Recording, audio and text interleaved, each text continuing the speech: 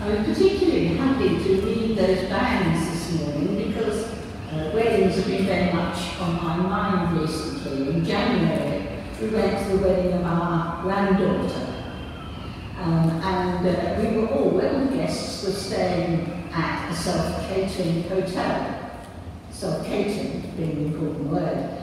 And the day before the wedding, the bride and the groom and their friends set to and prepared the barn for the reception.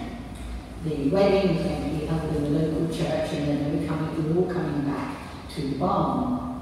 But it needed to be set up. Well, we oldies stood back and let them get on with it because they were all having such fun. We could hear the laughter and, of course, lots of teasing, even as we made sure there was plenty of tea, coffee and cake for the workers. I imagine that other laying tables, folding decorations, let alone setting up heavy things like lighting, um, can be seen as a bit of a chore. But because of those who were involved in it were joining together in a common purpose, and it was an exciting purpose, the activity became a source of joy. Each person there wanted to do their bit in serving the special couple. And that, of course, is the subject for our thought this week, servanthood, and all those words which are associated with it. And because servanthood is based on, is one of the ideas that springs from Francis Chan's book, Letters to the Church. Francis Chan challenges his readers to consider how churches have drifted from God's desire for them. And in the opening paragraph of his book, he asks us to consider what our understanding of the church would be if we all we knew about the church came from the Bible. And then he asks us to decide if our present church situation resembles that early pattern. And each chapter, concentrates on a different aspect of how God has designed his church to function and what the church looks like in those areas today. Now, I'm speaking of servanthood, but all those words with it, servants, serving, service. We believe that Jesus has set us an example of how we, as his followers, should live a life of service. Now, probably you, would like me, know many non-Christians who live good lives helping their neighbours and taking action to make the world a better place. And surely God is at work in them, even when they don't know it. But our advantage is that we know where our desire to serve comes from, because it comes from Jesus, and that knowledge brings us joy just as knowledge of those young people helping the bride and groom brought them great joy. And this joy and this service is explained in the passage we heard from King Paul's letter to the Philippians. Some of these words are thought to be taken from kind of early hymn sung by Christians as they gathered in worship. And they speak of Jesus emptying himself of his godly power when he takes on human form and shares the life and the death his people. Jesus didn't come on earth with all the power of God and intended to use it. He emptied himself of that power. He humbled himself. And he did this not in order to seek glory, but out of love for his creation. We are his creation. And we see Jesus acting out this humility and servanthood throughout his life. Where is he born? Not in a palace, but in a humble stable. What about his baptism?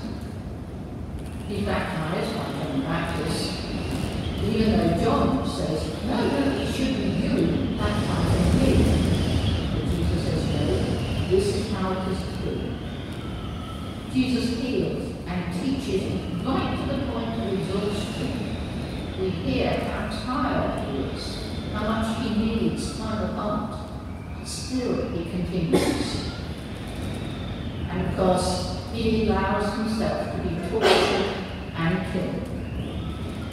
And Pontius Pilate tries to claim power over Jesus' life and death, but Jesus reminds him, you would have no power over me unless it had been given you from above. So Jesus becomes a servant. He gives up his power out of love and obedience to God. And he teaches servanthood to his followers by setting the example. He tries to drive home his teaching as he comes to the end of his life. You'll remember that at the Last Supper, Jesus washes the feet of his disciples with the words, If I, your Lord and teacher, have washed your feet, you also ought to wash one another's feet. Servanthood by example. And all through his ministry, Jesus has prepared his disciples to carry on his work in building the church. And all through his ministry, his disciples have found humility and servanthood so hard to understand. And we hear proof of that in our gospel reading when we hear how those two major players in the disciple team completely misunderstand what's going on. James or John, James and John, and their mother, well it's through their mother, you can imagine this very diligent mother, um, I'm always reminded of um, some of the mothers at um, parent-teacher in, uh, interviews. I, many years ago when I was a teacher, you could always tell the mother of James and John who come in wanting the best for her child. And no doubt, and good power to her really, we all want the best for her children. But the mother hadn't quite got it right when she asked Jesus for the best places in heaven. The vision is simply a human scenario imposed on top of a supernatural one, because they're picturing a banquet with the, the giver of the banquet, the giver of the feast, seated at the top table. And so places where special friends will be on the right and on the left. And Jesus has used this image of a banquet many times in his preaching. But what he used it for is to emphasize being humble rather than claiming the best seats. Sit at the lower part because the, the giver of the feast will ask you to come up. But James and John haven't got that message at all. But Jesus knows their potential.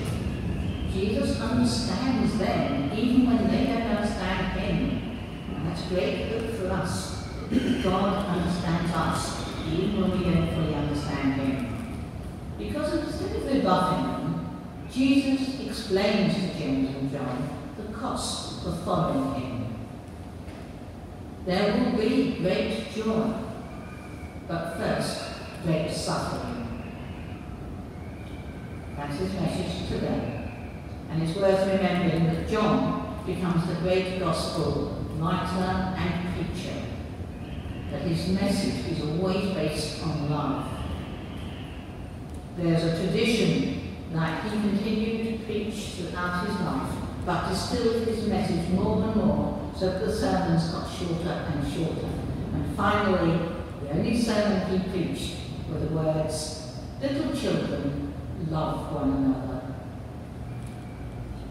James, his brother, becomes the leader of the church in Jerusalem and it's there that he's killed by King Herod, one of the early martyrs of the church.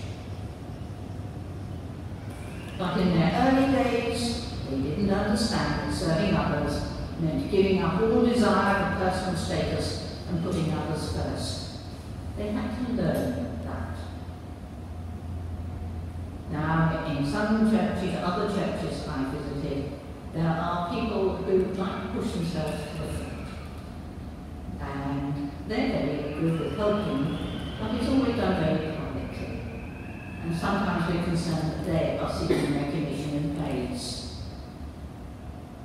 And there are the other kind of people who ensure that things are done, who are there and needed, but take a back step and notice afterwards. Simply happy that God's work is being done. And we can get rather cross with uh, first thought, just as the disciples got cross with James and John. But if we take the out of Jesus, we can encourage people rather than condemn them. And who knows where people's ministry may lead. Jesus reminds his disciples and us of the teaching Whoever wishes to be great among you must be your servant, and whoever wishes to be first among you must be your slave, just as the Son of Man came not to be served, but to serve, and to give his life a ransom for many. As Christians, our calling is to be the servants of others. That's our lifestyle, and it's a lifestyle that brings us joy because we're modeling ourselves on the life of Jesus. We recognise those who seem to have a natural gift for helping others. Sometimes we may feel a little disheartened because we always seem to speak too slow, too shy, or perhaps lacking in whatever's needed. But God created us all different, and He created us all with gifts. Some are plain to see and some are hidden. They emerge when God and our neighbours need them. Many of these gifts, indeed, are ones we're using all the time and we simply don't value them or notice them. For example, there's the gift of listening to others without interrupting. There's the gift of visiting and bringing to the person we visit laughter, or perhaps quietness, whatever is needed. And there is the gift of praying on our own for others. Never underestimate the power of prayer that is offered to someone who feels the effect but does not know its source. We all have something to contribute, and the chances are you're doing it already. Now's the time to find joy in it and help others find their joy by allowing them to serve you. I still get a bit prickly when someone offers me their seat in a crowded train. It does happen. Of course I don't need a seat. Do I look that old? Well, you do actually, Susan. In any case, how will the person feel if you refuse?